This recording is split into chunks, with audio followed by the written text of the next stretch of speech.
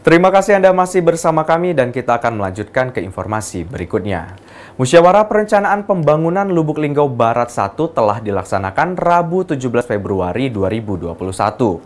Sejumlah usulan prioritas yang telah disampaikan ke kelurahan selanjutnya direkap dan disampaikan ke kecamatan sebagai progres pembangunan tahun 2021. Beberapa masyarakat mendesak agar usulan tersebut dapat terrealisasi nantinya. Pelaksanaan musyawarah perencanaan pembangunan Kecamatan Lubuk Linggau Barat 1 dilaksanakan Rabu 17 Februari 2021. Bertempat di Gedung Serbaguna Kantor Camat Lubuk Linggau Barat 1 di Jalan Garuda, Kelurahan Kayuara.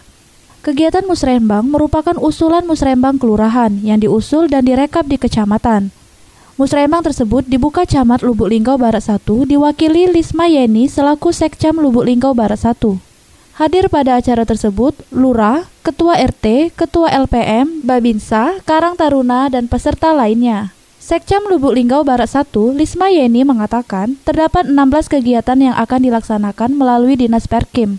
Terkait 16 kegiatan tersebut yakni peningkatan jalan di RT 8 Kelurahan Lubuk Tanjung menuju Puskesmas Mahaprana dan di Watas adanya peningkatan drainase tahun 20 eh, 2021 ini untuk Barat 1 itu ada 16 kegiatan informasi dari uh, Perkim kemarin. Dan insya Allah di tahun ini juga mulai pengerjaan. Di antara yang dapat itu ada Kelurahan Bu Tanjung, Watas, uh, dan beberapa kelurahan lainnya.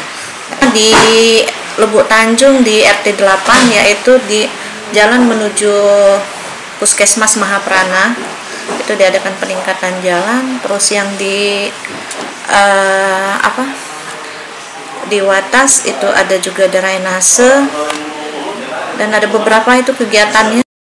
Mardiana Silampari TV melaporkan